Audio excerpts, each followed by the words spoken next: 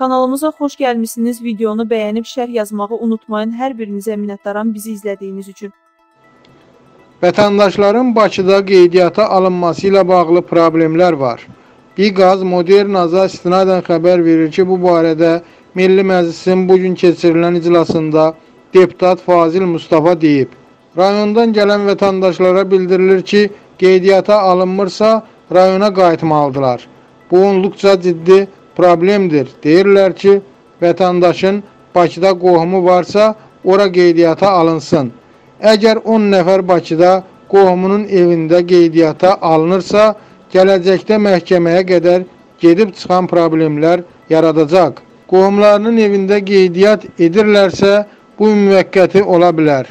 Biz qayıdışdan danışırıq, amma bu ciddi problemdir. Şəxsən mənim deputat kimi prosesdən xəbərim yoxdur ki, necə aparılır. Ona görə də bunu müzakirə etməli problem həll etməliyik deyə deputat vurğulayıb.